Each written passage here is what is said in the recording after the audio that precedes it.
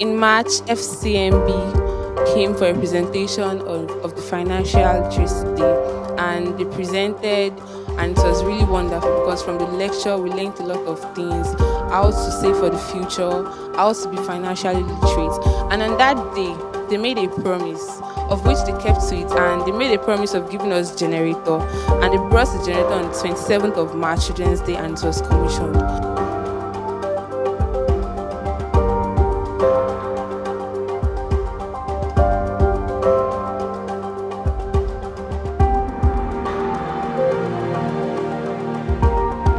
The generator has been of great help to us, the students, and the teachers. It has helped us in reading and also in pumping more water. So I want to say a very big thank you. As a library prefect, one of the major difficulties we face is imbibing a strong reading culture in our students. But with the First City Monument Bank, they indeed have done great help to us. It depends solely on that generator to power the hostels. That's the main work it does. It powers the hostels so that students are not in the dark at night.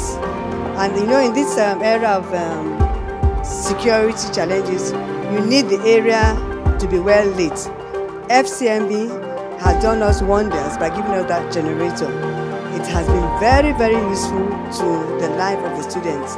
On behalf of the staff and students of Federal Government Girls College Akure, want to say a big thank you to First City Monument Bank for donating the generator.